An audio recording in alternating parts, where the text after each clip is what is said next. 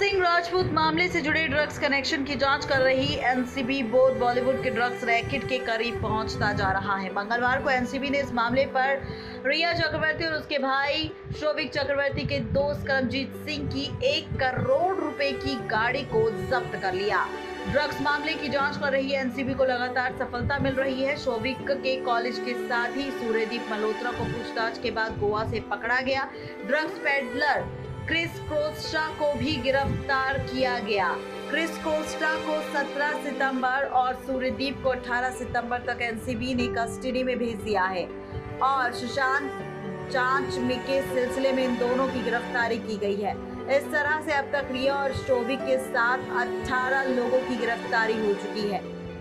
NDPS court ने drugs मामले की आरोपी रिया चक्रवर्ती को जमानत देने से इनकार कर दिया। कोर्ट ने कहा कि जमानत पर रिहा किया गया तो और लोगों को सतर्क कर देगी रिया और सबूतों को मिटा देगी।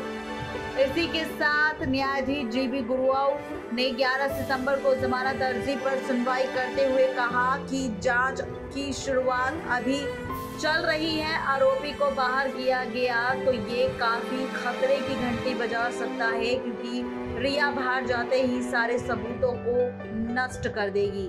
इसी वजह से रिया को नहीं मिल रही जमानत। नेक्स्ट लाइव से रजनी रिपोर्ट